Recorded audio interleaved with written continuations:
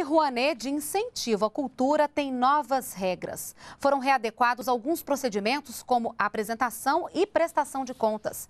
A gente conversa agora com a repórter Priscila Machado, que tem os detalhes ao vivo. Boa noite, Priscila. Boa noite, Renata. A ideia é modernizar a operação da Lei Rouanet. Quem está ao meu lado e tem as informações é o Enilton Menezes, do Ministério da Cultura. Boa noite. Quais foram as mudanças e quando elas entram em vigor? A instrução normativa entra em vigor já agora no dia 1 de julho, já está em vigor, ela entra na data da sua publicação.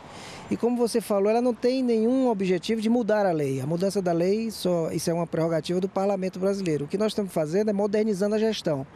Então nós flexibilizamos alguns limites, redefinimos alguns conceitos que a lei traz de uma forma, uma forma que enxergue um número maior de segmentos da cultura brasileira, porque essa lei ela já tem 22 anos de idade, hoje a gente trabalha com, segmento, com uma quantidade de segmentos muito maior. Nós estabelecemos algumas regras que também diminuem a documentação que é necessária para dar segurança ao processo, de uma forma que essa nova instrução normativa enxerga a ferramenta de, de gestão eletrônica que nós estamos implementando no Ministério da Cultura. Agora, como essas novas regras beneficiam quem é contemplado pela Lei Rouanet?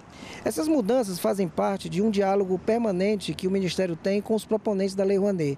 A partir desse diálogo, nós identificamos alguns problemas de gestão por parte dos proponentes. Então, esses proponentes que operam no mercado, que operam dentro do sistema da Lei Rouanet, vão ter muito mais facilidade e flexibilidade na operação da lei podendo assim cumprir melhor os prazos, cumprir melhor os orçamentos que são apresentados, cumprir os cronogramas que eles nos apresentam e que são aprovados pelo Ministério. E houve também mudanças com relação aos preços dos ingressos de projetos apoiados pela Lei Rouanet. Sim, essa mudança tem tudo a ver com o advento da lei que criou o Vale Cultura, que criou o programa do Cultural do Trabalhador.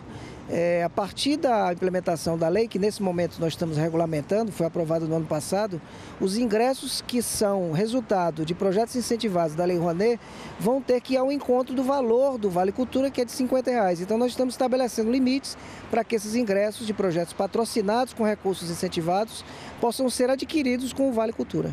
Muito obrigada pelas informações. Mais informações sobre a instrução normativa que traz essas novidades em relação à Lei Rouanet no site do Ministério da Cultura. Renata. Obrigada, Priscila, pelas informações ao vivo.